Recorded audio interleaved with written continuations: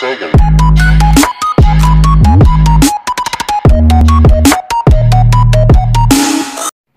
Hey, what's going on YouTube? Racing Master 1 here, and today I'm going to bring a tutorial on the best way to um, play PS2 games um, for cheap, like pretty pretty cheap. Um, that's not like what I mean by it. What I mean is that you can pirate games, burn them to a disc, and play them in your PS2 without your PS2 memory card being modded. So the uh, first thing you're going to need is your PS2, obviously. Second thing you're going to need is a computer running at least Windows Vista, so that way you can get this program on your computer called uh, Image Burn, IMG Burn. Just look it up on Google Chrome. Um, check and make sure if your PC is Windows 32-bit or 64-bit. You don't know how to do that Go to Control Panel, System and Security. Click on System. We'll say Windows 64-bit or 32-bit. You'll be able to see it. So you'll need Image Burn, and you also need WinRAR, again, 64-bit or 32-bit. So um, that's for your computer. Now for your PS2, what you need is a Coder SwapMagic 3 disc. Um, it's about 40 bucks for this Swap Magic 3 disc. The other one, which is all white um, with some black, is for installing software on your memory card. This one, on the other hand, is for running um, discs, especially. So, like in instance, burning ISOs to a disk that's a PS2 ISO.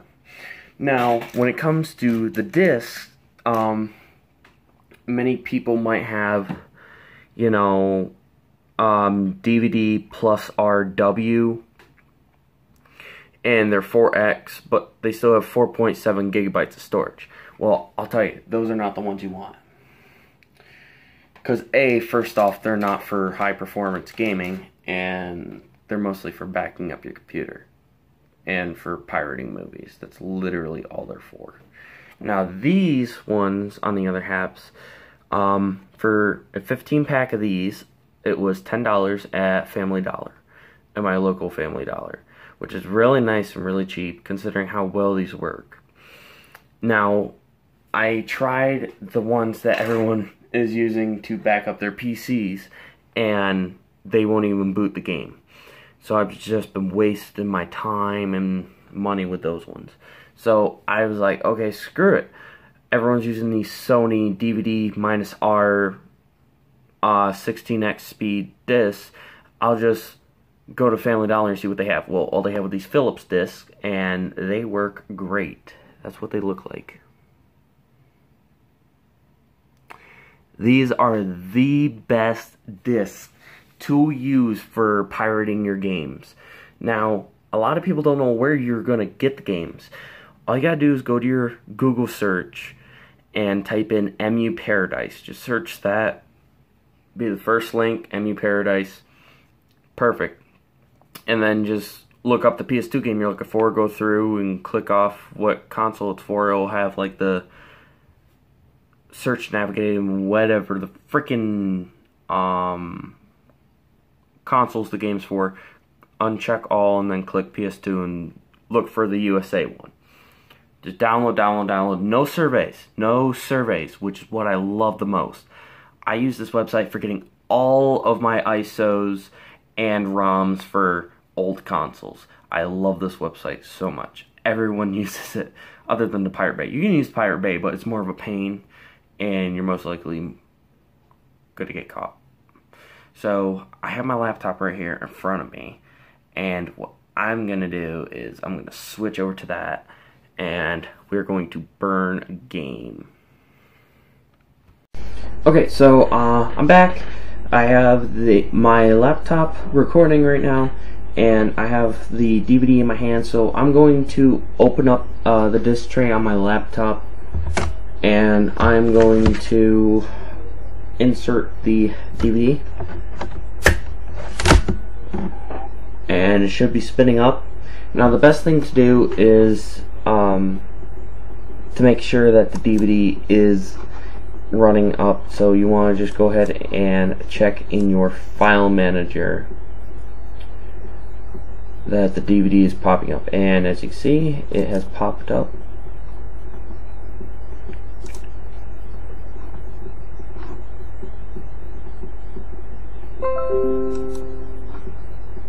Okay. So now that it is running um and it's the full okay so good. So now that I have that I have a game that I downloaded from Emuparadise and it's for PS2 it is Midnight Club DUB Edition Remix. It's about 3.1 gigabytes or 3.2 so I'm just gonna go ahead and open that up and it'll use WinRAR to open the file as you can see here. And that's an 8 gigabyte game.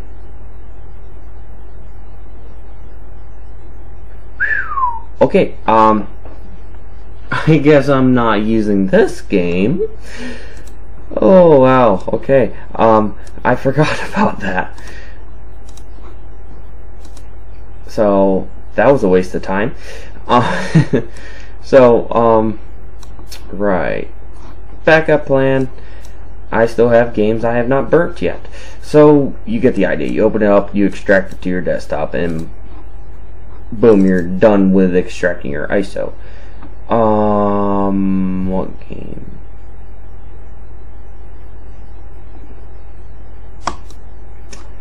Okay. Um, MTV Celebrity Deathmatch. I have not done this one yet, so that's the one I'm going to use. So now that you know where your ISO is, go ahead and run image burn. It'll load up like this. And now it's spinning the disk and getting it ready for image burn. Yeah, there we go. So what you want to do is you want to click on write image file to disk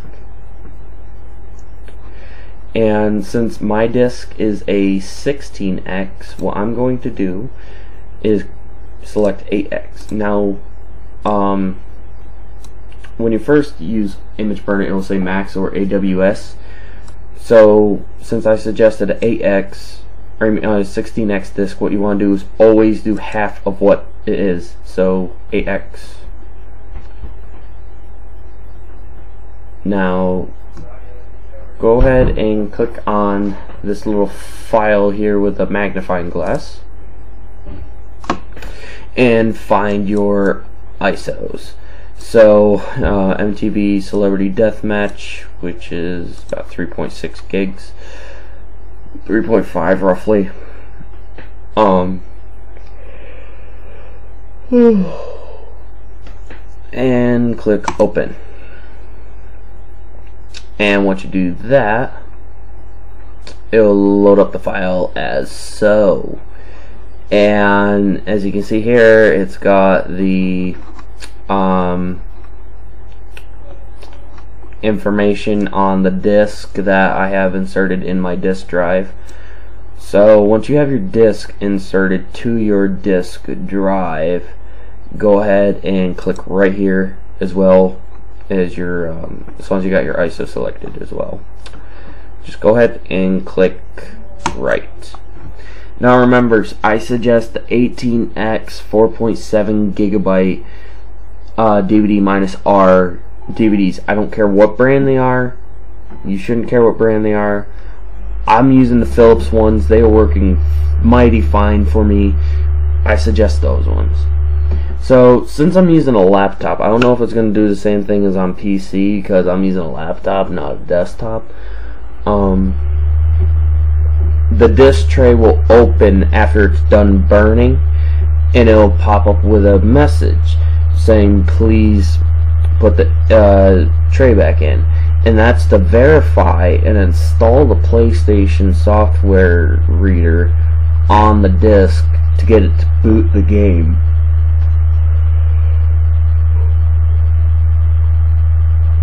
so now it's buffering and it is writing lead So when it gets to the error message, I will come back.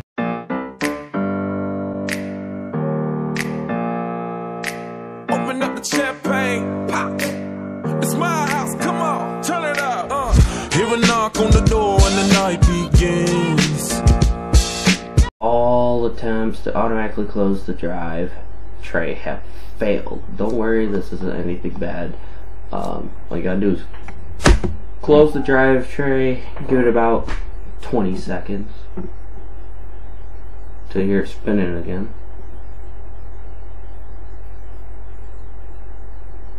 And then, okay.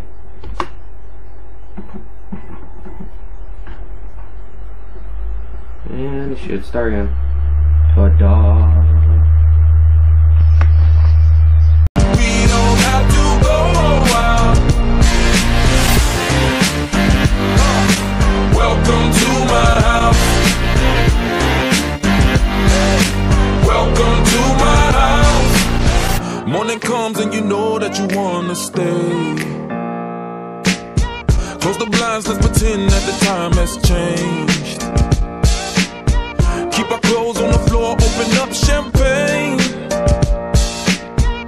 Continue tonight, come on, celebrate. That's how we do. Sometimes you gotta stay in,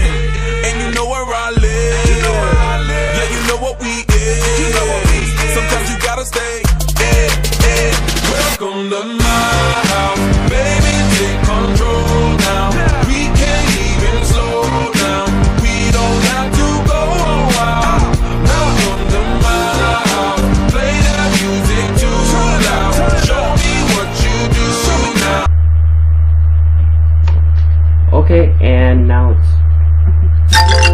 done. So that will be the sound you are greeted with when your file is done being burned to the DVD. So now that it's all finished, you can go ahead and close out image burn. It'll go ahead and, yep, do all that. You can eject your DVD that has your freshly burned video game on it. And if you look on the bottom, the bottom disc looks different now. It looks like uh, a different tone. But that's okay, that means your file's burned to it.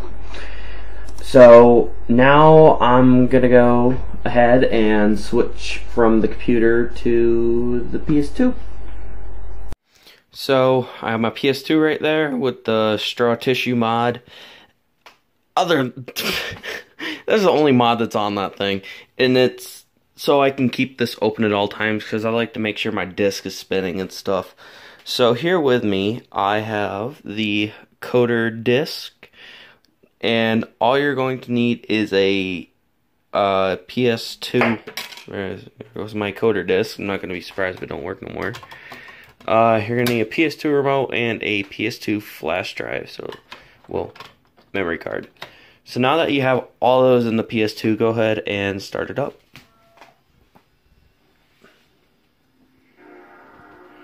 Ta-da! Actually, turn off my TV a little bit. And it should load through the coder disk. And you know it worked if ta-da. So now to go ahead and take out the coder disk and take your freshly burned video game disc and just put it in the PS2. Now what you want to do is you want to go over to special and then click on default. And what this will do is it will load a um, non-licensed PlayStation disc. So, hint, your burnt disc. And as you can see, it's working. So you can see there's no other PS2 consoles and it's not junk. It's the actual game.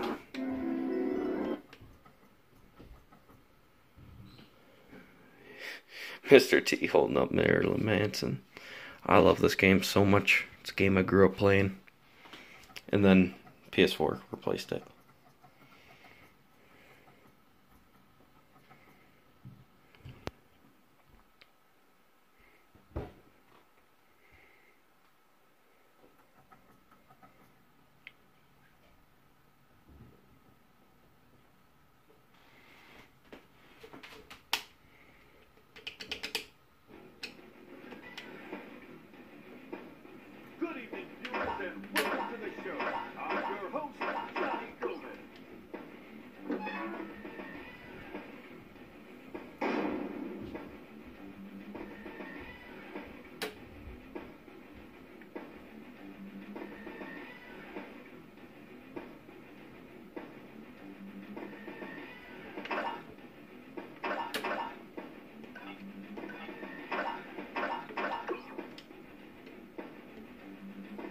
So you can see the game's working perfectly.